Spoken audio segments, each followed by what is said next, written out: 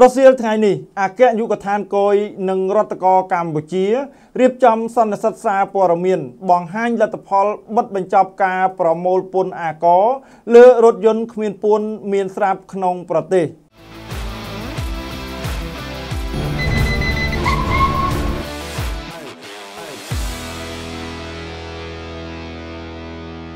នៅរសៀលថ្ងៃទី12ខែមករាឆ្នាំ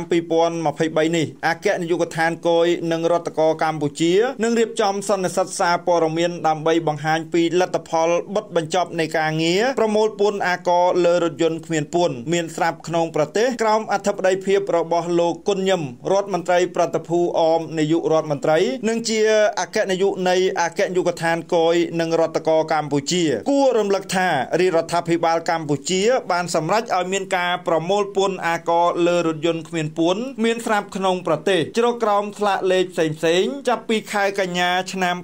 2021ចាប់ពីខែកញ្ញាដល់ថ្ងៃទី31ខែធ្នូឆ្នាំ2021រថយន្តអត់ពន្ធចង្កូតឆ្វេងអាចចូលបង់ពន្ធបាន ជាមួយការអនុគ្រោះពន្ធអាករ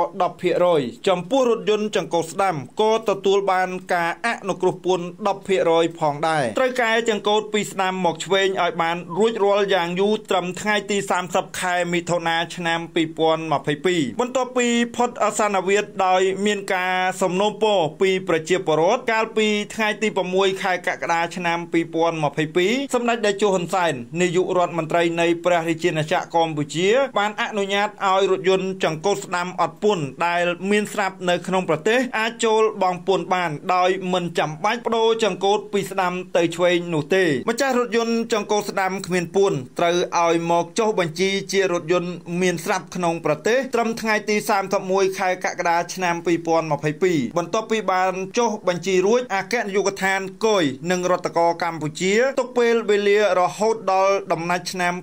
2022ដើម្បីបំពេញកាតព្វកិច្ចពន្ធនិងអាកររថយន្តចង្កូតស្ដាំគ្មានពន្ធដែលមានស្រាប់នៅក្នុងប្រទេសកម្ពុជា បានមកចុះបញ្ជីមានជិត10000គ្រឿងរថយន្តសង្កូតស្ដាំបានចុះបញ្ជីរួចដែលពុំបានបំពេញកាតព្វកិច្ចពន្ធនិងអាករគឺជាមុខសញ្ញានៃការបង្ក្រាបរឹបអូសដោះជាគ្រឿងបន្លាស់ឬកំទេចចោលតាមច្បាប់និងបទបញ្ញត្តិជាធរមានដោយពុំមានការអនុគ្រោះទៀតឡើយក៏ត្រឹមដើមខែតុលាឆ្នាំ2022អគ្គនាយកដ្ឋានគយនិងរដ្ឋកោកម្ពុជាប្រមូលចំណូលបានប្រមាណ100លានដុល្លារខណៈចំនួនរថយន្តសរុបដែលបានប្រមូលពន្ធអាករនិងបានចុះបញ្ជីមានប្រមាណ18000គ្រឿង